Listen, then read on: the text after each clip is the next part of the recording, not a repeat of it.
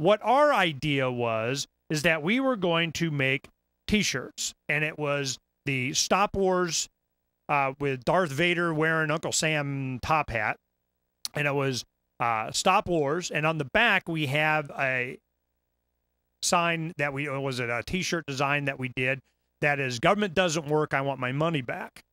But it, it shows a line of government promises going up, you know, a 45 degree angle. And then, of course, individual liberty and freedom, you know, where are we really at uh, as time has gone on? It's just kind of, especially since in the last decade, it's just dropped off the map. So there's a gap between the promise and what's delivered. Well, that's the revolution gap. You know, when you get far enough from what the promise is and what's reality, you know, that's when you have revolutions. And man, we got this big gap. So we um we kind of understand what's going on. Now this is what I wanted to share with you guys, and we'll just let these scroll for a little bit.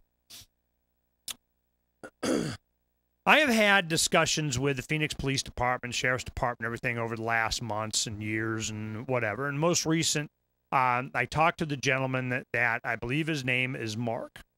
He is the new head of uh, community relations. I used to call it confrontation prevention squad and all this other stuff. And the gentleman that I usually deal with, he was at some other function. He goes, Ernie, not going to be there. I'm covering some, you know, Hispanic whatever thing. I speak Spanish and I'm over there. So Al Ramirez was not there. This other guy, and we've met with him before when we did the TSA events at Sky Harbor Airport when we, you know, did our creative stuff there.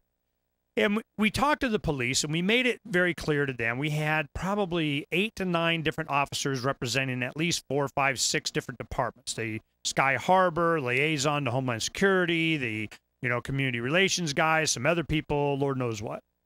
And their thing was trying to convince us that you had to get a permit. You got to get permit to do anything, permit, piece of paper, permit. And I'm like, well, that's not going to happen because I already know where that goes. I know how that works out. So we're just like, nope, nope, nope, nope, nope. Well, finally, eh, the event happened. No big deal, no problem, no muss, no fuss, and it, was became a lot bigger than they thought. They didn't anticipate it was going to be a national thing like this Occupy movement is. What they are led to believe, there's two things that have been happening from the right.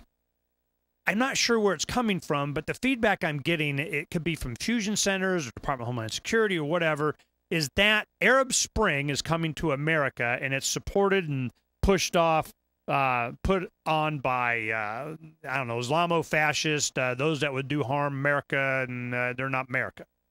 So I can I can see where this is going. They're they're trying to trump up some kind of justification for taking a hard line.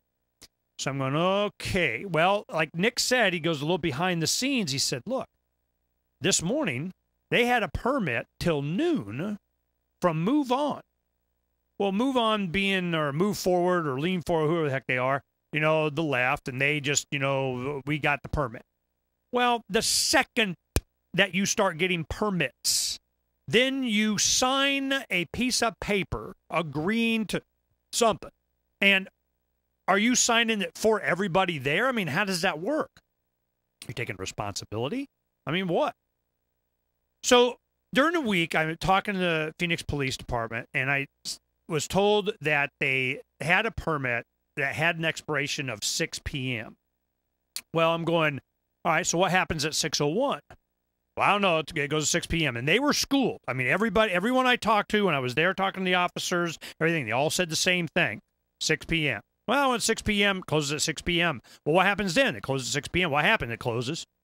Okay. All right. So they had a plan. So then I'm going, all right, well, uh, I, I find out that there is a plan that they had worked when they were negotiating with the police department, this, the Occupy Phoenix. I guess they were in touch with these people. And they said, look, we're going to go ahead and leave at five o'clock and go to another park where we'll stay.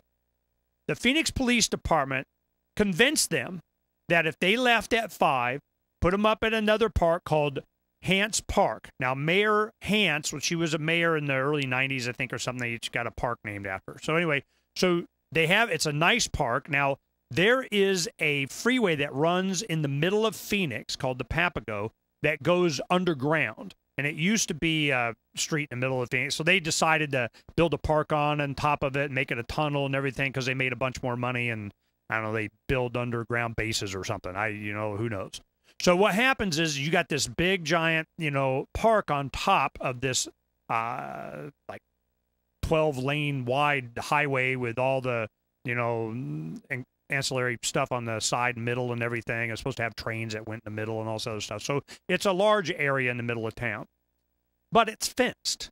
So you have it to where uh, you don't go off the edge and you know jump on the freeway. So they got it fenced there. They got it fenced at the other end. They got another fence, and then it's a residential area on uh, the north side.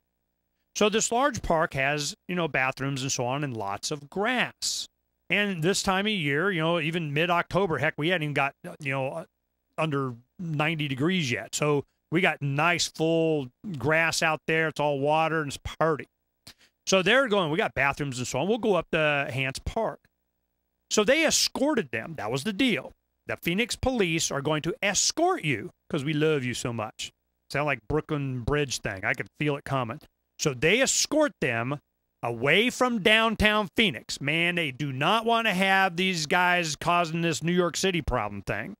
And around the country, they're, you know, really making a big push on this, man. You don't want them downtown. Well, we made the deal with the Phoenix. I said, look, if this becomes, if, if the issue, the city council and everything, if this issue is all about they're, they're dirty or they, you know, didn't pick up, you know, we'll go around, show up our pickup truck and uh, we'll just make a thing out of Freedom's Phoenix. Heck, we'll, libertarians, revolutionaries, Ron Paul supporters, Gary Johnson guys, whatever, all show responsibility and we'll pick up the trash we'll get them. They're, they're just looking for somewhere to throw it. I mean, eh, they're not just being messy. So they made, fortunately, people brought a bunch of trash bags. So they were picking up after themselves. Before I left, even, uh, it was, I left probably like 4.30 or something like that. And uh, they had already picked up everything. So it was, I, that was not a problem. That's not an issue. That's not their reasoning. The reason is they don't want people downtown when businesses open again and across from City Hall. It'll turn into a thing and they know it. And they learned this. If you don't squash this in the beginning, they will be there forever and it will grow, especially when nobody has a job, and nothing else to do, and they can express themselves. So I'm going, okay. Oh, yeah, this sign, Obama and Bush are war criminals. That was done by Ryan, one of the activists here. Now, you see he's wearing a sidearm. That's another issue. You'll see he's on the sidewalk there. They said he could go on the sidewalk. Here in Arizona, um, you don't have to have a permit or anything to carry a firearm concealed or open. Well, what happened was is that in the mid '90s, and this is how I knew a lot of these guys is from these activities that I got to know the police and had a decent relationship with them, and in fact, some of the same people until they changed some of them. Was that we were like, look, the signs on the park said no firearms allowed. And we were having a lot of problems. There were people that were complaining. They're taking their kids, you know, to the park, and then you know uh, the gangbangers come at uh, when the sun starts to go down playing basketball, and they're gunned up and they're disarmed, and they complain, and the cops don't do anything, and they won't let them protect themselves, and have signs saying you can't bring guns and all that kind of stuff. But we knew what the law actually said. It said no discharge of firearms. So we're going okay so what we did is I, I brought this up for you to see this. I talked to them and they said, no, you can't go on the grass. You can't go in the park with your firearm. So a lot of these guys, you know, uh, they're, you know, uh, well, really? And they go, yep, you know, on there. So I'm going, I don't think it says that. So I asked for clarification. You know, where'd you get this? So the officers said that they were told in prep that all right, this is going to happen, that's going to happen. No guns in the park. Uh, they can be on the sidewalk, can't go in there because. Because why? Because we said. Okay, fine, good enough for them. Well, the law right here, it says discharge of firearms, okay? You are guilty if you have a discharge of firearm. Now, they said the classification, the charge is um, you get charged with the discharge of a firearm in a park, except when you're defending yourself, you're defending this, you got blah, blah, blah, you have a special permit, yada, yada, yada, it goes on. But be, bringing a firearm into a park is not against the law or the ordinance. It can't because of Arizona state law. It's called state preemption. And, you know, because you can't have different laws in every little town that you go to. So I'm going, you know, I already knew this. I was like, I don't know how you're getting around this, you know, because they can't, you know, just because they want to. And they go, well, nope, can't. You know, this is not the time to be discussing this, Ernie. We don't want to discuss this now. It's not the time. And I'm like, this is the perfect time. This is when you discuss this stuff, you know, because what was going on. Let me go ahead and get to uh, some of the pictures here for those that are watching the stream, um, the YouTube. What happened was there is a gentleman. His name is JT Ready. Now JT is a uh, militia type. He's uh, you know a white supremacist. You know he's been. Um, uh, uh here's pictures of us painting the RV. RV da da da da da and taped it up, painted it. Now it's all gray. And we're getting ready to. So when we go to these kind of functions like this, and this is the primer's all done. Now we're gonna logo it and paint it the colors we want and everything. And when we go down there, we'll have our own little RV, and we do oh, goat and chicken saying hello. We love your RV. Now, what we did is we go down there, and there was a militia unit, guys that Arizona Defense League, De La, whatever the heck it is, and they have new laws that they're working on here to give the governor a someone other than the National Guard, which got or State Guard, which got take, took taken by the Federals. And you know, so this is all a big thing. Well, there's some of these people that really, really, really, you know, they love their guns and they want to go down to the border and defend it against the Mexicans and and all this kind of stuff.